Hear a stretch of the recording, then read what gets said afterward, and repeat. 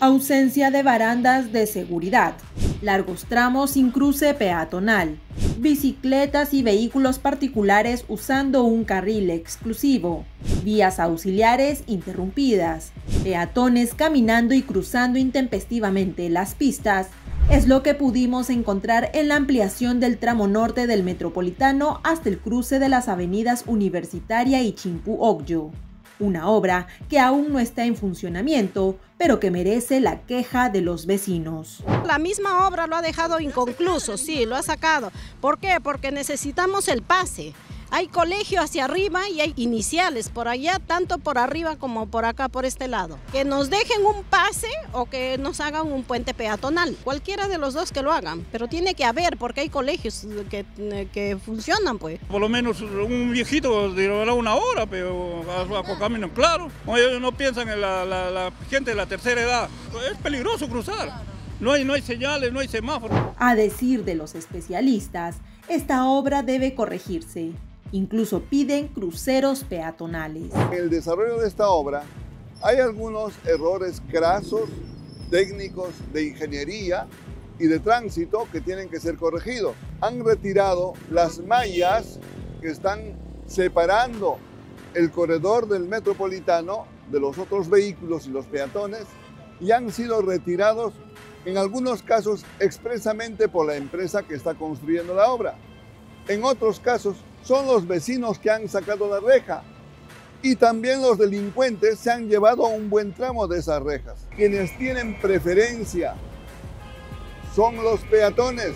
No es correcto que haya tramos de cuatro cuadras, quién sabe más, de que los peatones no tengan por dónde cruzar.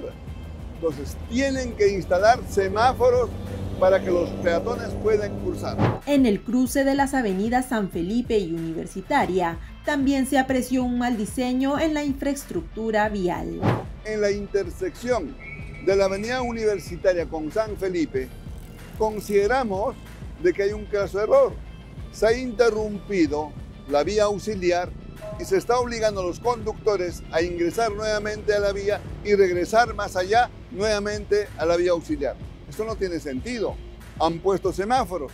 Aún con ayuda de semáforos, esa forma de permitir ese giro sumamente peligroso, evidentemente ofrece todo riesgo. No solamente de que se produzcan colisiones, sino puede haber siniestros en contra de los peatones. De modo que la intersección que está entre Universitaria y San Felipe, señores de MAPE, verifiquen bien. Asimismo, peatones, motos y autos particulares hacen mal uso de la vía exclusiva para el metropolitano. Mientras se desarrolla una obra y que esa obra está bajo la responsabilidad de la empresa que construye la obra, no se debe interferir.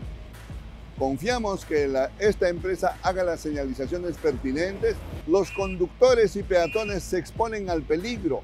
Hay que evitar utilizar una vía que aún no está habilitada. Esta obra fue entregada ya terminada por el exalcalde de Lima, Miguel Romero, en diciembre del 2022. Sin embargo, la ATU consideró que tiene deficiencias que debe subsanar EMAPE antes de autorizar su funcionamiento. Cuando esto ocurra, se beneficiarán 350.000 vecinos de Independencia, Comas, Caraballo y distritos aledaños.